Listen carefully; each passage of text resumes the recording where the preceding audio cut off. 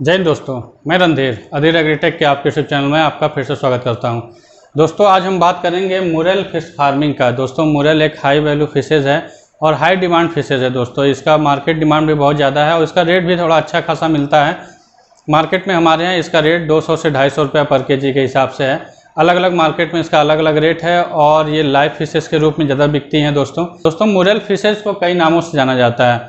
हमारे यहाँ इसको मुरल भी कहा जाता है और स्नैक हेड भी कहा जाता है। इसके सर की बनावट तो सांप की तरह होती है, इसलिए इसे स्नैक हेड भी कहा जाता है दोस्तों। तो आज हम बात करेंगे दोस्तों मुरल के फ़िश फ़ार्मिंग सबसे पहले हम दोस्तों हम बात करेंगे इसके लिए पॉन्ड के लिए। पॉन्ड किस तरह का आपको चाहिए इसके लिए। दूसरा हम बात करेंगे दोस्तों सीड के स्टॉकिंग की, कि कितनी डेंसिटी में आपको सीड स्टॉक करना है। तीसरा दोस्तों बात करेंगे दो इसके लिए फ़ीड मैनेजमेंट का, कि फ़ीड आपको कैसे देना है और कितना परसेंटेज में देना है। चौथे पॉइंट पे दोस्तों हम बात करेंगे डिशेज मैनेजमेंट का, किस तरह के डिशेज आने के चांसेज होते हैं और कैसे आप उसको कंट्रोल कर सकते हैं। पांचवा दोस्तों बात करेंगे इसके प्रोडक्शन का और प्रॉफिट का। साथ साथ आपको बताता चलूँ कि मुरल फिशेस का कल्चर आप बायोफ्लॉक टेक्नोलॉजी से भी कर सकते हैं टैंक सिस्टम में भी कर सकते हैं। और बहुत अच्छा रिज़ल्ट है दोस्तों फंगेसियस अगर आप, आपके यहाँ मार्केट वैल्यू कम है तो आप मुरल की तरफ़ जा सकते हैं। लेकिन मैं आपको बताता चलूँ कि मुरल फिशेज जो है जनरली जो होती है नदी वाली मछलियाँ हैं और ये कॉमर्शियल फ़ीड को खाना पसंद नहीं करते हैं। इसलिए आप देखिएगा कि आपको सीड लेते वक्त ये ध्यान देना है कि आप अपने जिससे हेचरी से ले रहे हैं, उनसे आपको फ़ीड कन्वर्टेड मुरल लेना है। फ़ीड कन्वर्टेड जो जो कमर्शियल फ़ीड को खाता हो दोस्तों। आज अब जो है, वो जो हेचरीज वाले हैं, वो फिशेस को फ़ीड कन्वर्टेड करके दे रहे हैं और वो आपको फ़ीड कन्वर्टेड फिशेस ही लेना है अपने बायोफ्लॉक सेटअप के लिए। तालाब की बात करें दोस्तों तो वहाँ पे आप नॉर्मल सीड भी ले सकते हैं, क्योंकि वहाँ पे उनके खाने के लिए कई सारे इंसेक्ट्स जो कि जो छोटे छोटे पानी में कीटाणु होते हैं, वो भी, वो उनका फेवरेट फ़ीड होता है और साथ ही साथ जो छोटी लाइफ फिशेज होती हैं छोटी छोटी वो उनका फ़ीड होता है, जो इसमें हाई प्रोटीन होता है। इसलिए वो उनसे, उनको खा के बड़ी हो जाती हैं। लेकिन बायोफ्लॉक फ़िश फ़ार्मिंग में आपको फ़ीड कन्वर्टेड ही सीड लेना पड़ेगा दोस्तों। पहले पॉइंट की बात करें दोस्तों कि आपको इसके लिए पॉन्ड कैसा चाहिए और कितना बड़ा पॉन्ड आपको इसके लिए सेलेक्ट करना होता है। दोस्तों सब बात करें पॉन्ड कैसा चाहिए तो पॉन्ड आपको इसके लिए उसके बंधे की ऊंचाई ज़्यादा होनी चाहिए, क्योंकि जो मुरल फ़िश है वो उछलती बहुत ज़्यादा है, कूदती बहुत ज़्यादा है।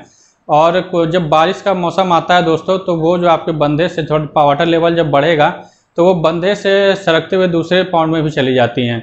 इसलिए जो आपके पॉन्ड का डिज़ाइन है, वो थोड़ा सा स्टेप वाइज बनाना होता है। इसमें आपको ऊपर के लेयर पे जो बंधा है, उसे आप थोड़ा सा स्टेप वाइज बनाइए, ताकि अगर ऊपर चढ़े तो फिर नीचे गिर जाए।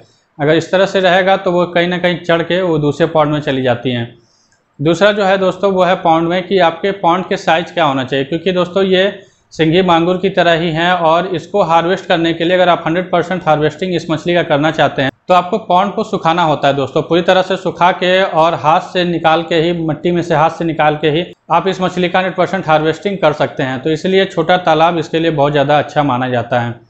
तालाब की साइज़ की बात करूँ दोस्तों तो दस हज़ार स्क्वायर फीट से लेके तीस हज़ार स्क्वायर फीट यानी आधे एकड़ तक का तालाब बहुत अच्छा है और आपके पास ऐसा साधन होना चाहिए कि आप उस पानी को सुखवा सकें या आप अपने तालाब में आउटलेट सिस्टम वगैरह बना सकें। तभी आप इसका हंड्रेड परसेंट हार्वेस्टिंग कर पाएँगे दोस्तों। पॉन्ड में ही दोस्तों बात करें वाट प्रिपरेशन का तो पाउंड को तैयार करने के लिए आपको सबसे पहले पाउंड बनाना है और उसमें चूने का छिड़काव करा देना चूने का छिड़काव कराने के बाद दोस्तों आपको उसमें गोबर वगैरह डाल के और फिर पानी को भर के 10 से 15 दिन के लिए छोड़ देना है और बीच में आप उसमें यूरिया का इस्तेमाल कर सकते हैं। तो 10 से 15 दिन बाद आपका पॉन्ड तैयार हो जाता है आपके सीड स्टॉकिंग करने के लिए। दूसरे पॉइंट की बात करें दोस्तों सीड की संख्या और उनका साइज़ तो सीड की साइज़ की बात करूँ दोस्तों तो बेहतर होता है कि आप इसको पाँच ग्राम से जब बड़े के सीड को स्टॉक करें, क्योंकि छोटे सीड में संख्या कम हो जाती है, क्योंकि ये जो है, इनका नेचर होता है कि ये सुबह के समय ऑक्सीजन लेने के लिए ऊपर आते हैं और उस समय जो बर्ड्स हैं, वो इनको बहुत ज़्यादा नुकसान पहुंचाते हैं। वो सुबह के समय जब ये मछलियाँ ऊपर की तरफ़ आती हैं तो उस समय ये बर्ड्स आते हैं और उनको पकड़ के लेके चले जाते हैं। बच्चा छोटा होने की वजह से। और उसमें आपको जितनी संख्या आप डालेंगे, उसमें लॉसेज ज़्यादा हो जाएँगी। आपको उतनी ज़्यादा मात्रा में आपका प्रोडक्शन नहीं होगा। इसीलिए आपको बड़े साइज़ का सीड सेलेक्ट करना है। पाँच ग्राम से प्लस के सीड को सेलेक्ट करना है। दस ग्राम, पंद्रह ग्राम का बच्चा अगर आपको मिलता है तो बहुत अच्छा है दोस्तों। या उसमें आप ये कर सकते हैं कि छोटे साइज़ को सीड को मंगा के किसी एक टैंक में रख के, जो बायोफ्लॉक सेटअप का टैंक है, उसमें आप उसमें स्टॉक करिए। और छोटे टाइम, छोटे साइज़ के सीड को जो एक ग्राम, दो ग्राम का है, उसको 10 से 15 ग्राम करके बाद उसको आप अपने पॉन्ड में स्टॉक कर दीजिए। ये बेहतर तरीका होता है मुरल के स्टॉकिंग का। स्टॉकिंग डेंसिटी की बात करें दोस्तों तो आप प्रति एकड़ इसमें आप 15 से बीस हज़ार बच्चा स्टॉक कर सकते हैं। अगर आपके पास पानी चेंज करने की फैसिलिटी है कुछ अलग से आप ऑक्सीजन सप्लाई दे सकते हैं अपने पाउंड में तो आप इसकी डेंसिटी तीस हज़ार तक कर सकते हैं। हाई डेंसिटी फिशेज है क्योंकि ये माउथ ब्रीडिंग फ़िश है और इनको ऑक्सीजन रिक्वायरमेंट कम होती है। इसलिए आप 15 से बीस हज़ार बच्चा प्रति एकड़ के हिसाब से स्टॉक कर सकते हैं। लेकिन दोस्तों, यहाँ बात करूँ छोटे तालाब की, अगर आपके पास दस हज़ार स्क्वायर फीट या पंद्रह हज़ार स्क्वायर फीट का तालाब है तो पाँच से सात हज़ार बच्चे को आपको स्टॉक करना है।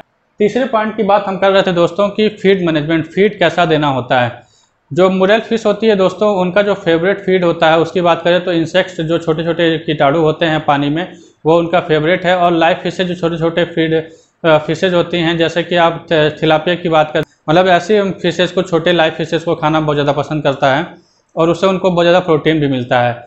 मुरल फ़ार्मिंग में आपको हाई प्रोटीन फ़ीड देना होता है। अगर आप कमर्शियल फ़ीड भी दे रहे हैं दोस्तों तो वहाँ पे आपको हाई प्रोटीन फ़ीड यानी चालीस अड़तीस परसेंट से लेकर चालीस परसेंट तक का फ़ीड देना पड़ेगा इनके ग्रोथ के लिए। और अगर आप कमर्शियल फ़ीड दे रहे हैं तो आपका बात करूँ बॉडी वेट के हिसाब से आपको स्टार्टिंग में पाँच परसेंट देना है। अगर आपकी फिशेज 100 ग्राम से नीचे हैं तो आपको 5 परसेंट तक 4 परसेंट मतलब स्टार्टिंग में 5 परसेंट, फिर 80 100 ग्राम के बीच में है तो आपको 4 परसेंट। और जैसे 100 ग्राम के ऊपर जाता है, डेढ़ सौ ग्राम के बीच में है तो आपको तीन परसेंट। और जैसे ही डेढ़ दो सौ ग्राम, यानी दो सौ ग्राम से ऊपर क्रॉस करेगा दोस्तों तो आपको बॉडी वेट का दो परसेंट। लगातार आपका जब हार्वेस्टिंग तक आपको दो परसेंट बॉडी वेट का खिलाते रहना है। बीच बीच में दोस्तों बात करूँ तो आप कुछ मिनरल्स का भी यूज़ कर सकते हैं, साथ ही फ़िश मिल का यूज़ कर सकते हैं। और साथ ही आप वेस्टेज जो होता है पोल्ट्री का वेस्टेज उनको उबाल के बॉयल करके खिलाना है। दोस्तों डायरेक्ट नहीं डालना है।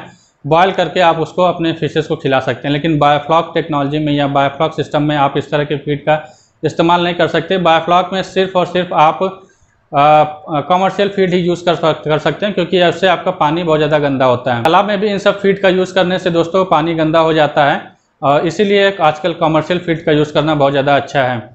और दोस्तों बताता चलो कि अगर आप कमर्शियल फ़ीड या कोई भी होम मेड फ़ीड भी यूज़ कर रहे हैं, उसको आपको एक जगह नहीं खिलाना है, आपको पूरे पाउंड में तीन चार जगह या पाँच जगह, आप जगह जगह इसको रख दीजिए, क्योंकि ये अग्रेसिवली खाती है और एक ही जगह रहेगा तो बहुत ज़्यादा फिशेज वहाँ टूट पड़ेंगे। इसलिए आपको पूरे पाउंड में पाँच छः जगह बकेट सिस्टम का यूज़ करके बकेट में उन होम मेड फीड्स को जो आप राइस ब्रान और फ़िश मिल और बॉयलर जो चिकन वेस्टेज है उसका यूज़ कर रहे हैं तो उसको आपको उसमें राइस ब्रान का मिक्स करके और उसको सान के अच्छे से चार पाँच जगह बकेट में यूज़ करके आपको इसको खिलाएँगे तो बहुत ज़्यादा अच्छे से ये खाएगी। तो पोस्ट स्टॉकिंग में आपके डिसीज मैनेजमेंट की तो किस तरह के डिसीज आते हैं दोस्तों इसमें? डिसीज जो है उसके पूछ गलने की बीमारी होती है, आँख निकलने की इसकी ज़्यादा बीमारियाँ होती हैं तो इन सब बचने के लिए आपको रेगुलर अपने पॉन्ड में लाइम का यूज़ करते रहना है, चूने का इस्तेमाल आपको रेगुलर करते रहना है अपने पॉन्ड में।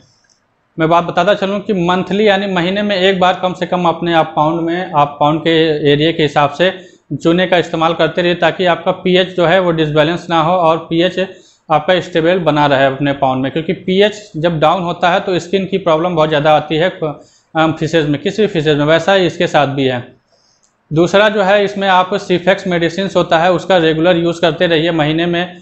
नहीं आप यूज़ कर पा रहे हैं तो दो महीने, तीन महीने में एक बार आप सीफेक्स मेडिसिन का यूज़ करते रहिए प्रिकॉशन के तौर पे ताकि आपका वाटर जो पैरामीटर हैं और वाटर क्वालिटी मेंटेन रहे और आपके फिशेस को किसी भी प्रकार की बीमारी ना लगे दोस्तों। और तीसरा जो पॉइंट है दोस्तों, अगर आपके डिसीज आ जाता है तो आपके पास एरिएशन का अरेंजमेंट होना चाहिए, साथ ही आप वाटर एक्सचेंज कर सकें, ऐसी व्यवस्था आप बना के रखिए, अगर हाई डेंसिटी में आपने डाल रखा है तो।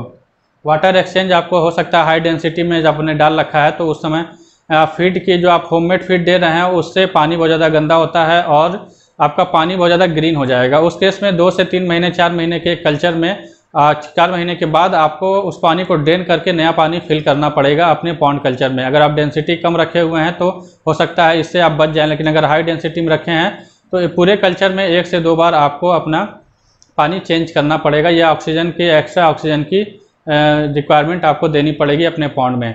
लास्ट में बात करें दोस्तों प्रोडक्शन का तो जो इसका प्रोडक्शन ड्यूरेशन है वो आठ से दस महीना है और जो इसका हार्वेस्टिंग साइज़ है, वो चार से छः सौ ग्राम इसका हार्वेस्टिंग साइज़ है। और लाइव फिशेज़ के रूप में ज़्यादा बिकता है लाइव आपके लोकल मार्केट में ये बहुत ज़्यादा डिमांडेड फिशेज होती है, वहाँ पे आप लाइव फिशेज के रूप में इसे बेचवा सकते हैं। प्रोडक्शन की बात करें दोस्तों तो प्रति एकड़ आप इसका दो से तीन टन का प्रोडक्शन ले सकते हैं अपने एक एकड़ के तालाब में। तो उसी हिसाब से आप डिवाइड कर सकते हैं कि आप छोटे में कितना मिलेगा, बड़े में कितना मिलेगा। और प्रॉफिट की बात करूँ लास्ट में दोस्तों तो ये आपके मार्केट के ऊपर डिपेंड करता है, आपके प्रोडक्शन के ऊपर डिपेंड करता है।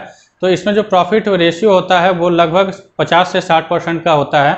जितना फिशेस तैयार करने में आपका खर्च आएगा, उतना ही आपको इसमें प्रॉफिट मिल जाता है दोस्तों। अगर आपका वाटर मैनेजमेंट अच्छा है फ़ीड मैनेजमेंट अच्छा है तो और स्टार्टिंग में हो सकता है आपको कम मिले पहले कल्चर में, लेकिन दूसरे, तीसरे कल्चर से आपको प्रॉफिट परसेंटेज ज़्यादा मिलेगा दोस्तों।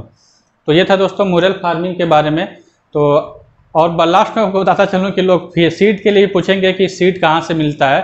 दोस्तों बताता चलूँ कि साउथ साइड में इसका सीड सबसे ज़्यादा साउथ साइड में मिलता है, उसके बाद कलकत्ता में मिलता है। स्टार्टिंग ड्यूरेशन में मतलब मार्च, अप्रैल में इसका साइड साउथ साइड में इसका सीड अच्छा मिलेगा। और ला, इस समय जुलाई, जून, जुलाई से आपका जो है कलकत्ता में इसका सीट मिलना शुरू हो जाता है। तो और जिनको भी सीट की रिक्वायरमेंट है, वो इसको डिस्क्रिप्शन में नंबर है, वहाँ से आप कॉन्टेक्ट कर सकते हैं, वहाँ से आपको सीट के के लिए डिटेल मिल जाएगी दोस्तों। तो आज के लिए इतना ही दोस्तों, मिलते हैं नेक्स्ट वीडियो में। जय हिंद।